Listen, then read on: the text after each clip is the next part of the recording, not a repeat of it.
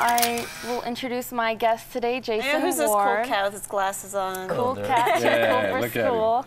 He's a, a co-owner of Star Tattoo in Corrales. Okay, And yeah. son of Ross Ward, who created Tinkertown Museum up in the East Mountains. I don't know if you guys have been there. You really I have to check it out. So cool. Magical Excellent. place. yeah, I love that place. You grew up with that? Yep. Jason? Yep. That's Did my you dad. Yeah. comes That's from Did you grow up there? Yeah. oh my gosh. yeah. What a cool place to explore. Yeah, it is. Excellent. Yeah, so um, Jason is one of the winners for Local IQ's Smart List. We got him on the cover of one of the local IQ Yeah, issues that's here. him. Here There you are. Getting, getting tattooed by my partner there, Chris Partain.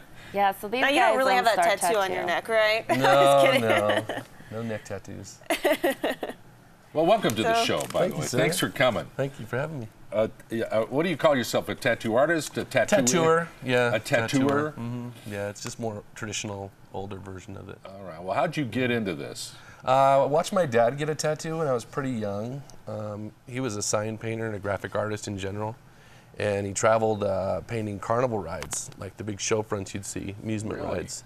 And so, as a pretty young guy in the 70s, you know, as a little guy out on the road tagging along with him, actually working, I'd get a, a quarter a hoof painting the uh, merry-go-round horses, the feet. So, you know, every uh, horse is a buck. So, Yeah. sit there Yeah. painting these hooves. And we were out on the road one summer and he got tattooed by a real old tattooer in Texas, Singapore John. And that kind of just stuck with me. And years later, it just kept being this thing that was kind of magic. Ink was kind of magic to me.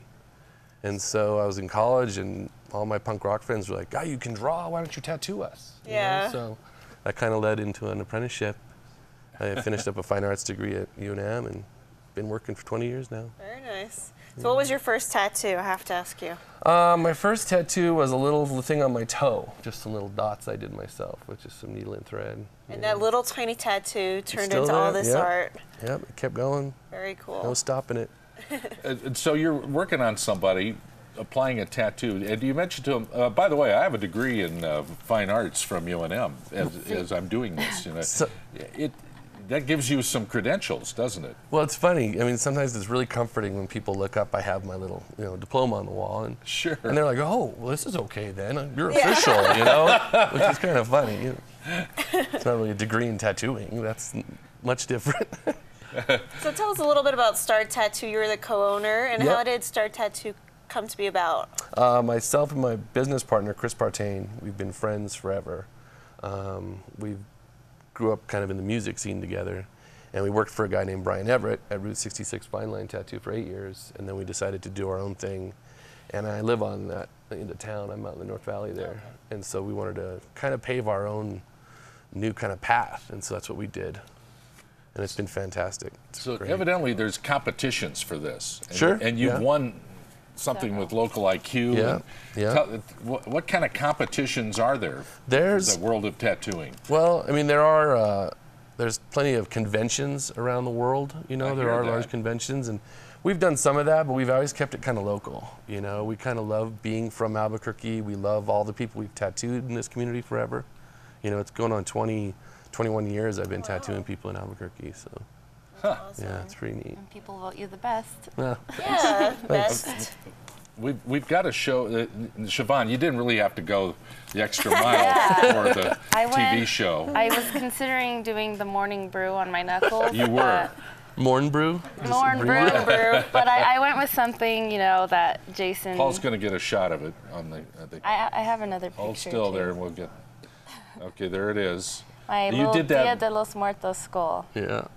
Well, So- She did that Siobhan, you didn't have us. to do that for the show.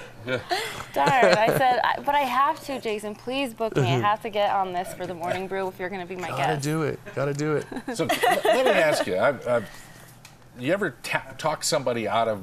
They're sitting there, they want a tattoo. Yeah. You ever talk them out of it? I have, yeah. I don't do anything that's like racially prejudiced, you know, any kind of hate imagery. I won't do it. You know, I've had people request that kind of stuff, and there's just no way.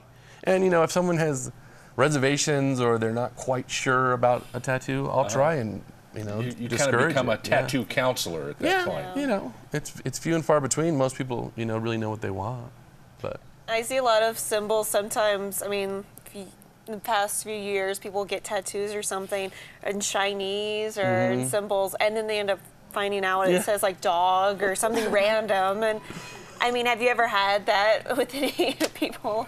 I've had Cover people up. that said, I'm not sure if this is correct. And I go, well, you need to make sure. Yeah. Or people are like, I think that's my kid's name. And I'm like, you got to find out. I don't Yeah. know how to spell your kid's name. All right, we got a we got a, a graphic image here. Now, this is some of your work. This is some of your prize-winning work here. That's Uh, beautiful. describe that to us. It's a muerto skull and then some traditional uh, roses and traditional swallows. Yeah, it's a lower back tattoo. Beautiful. Look at this one. Colorful. That's really neat. Thanks. That's, That's on a- amazing. thank you. The color.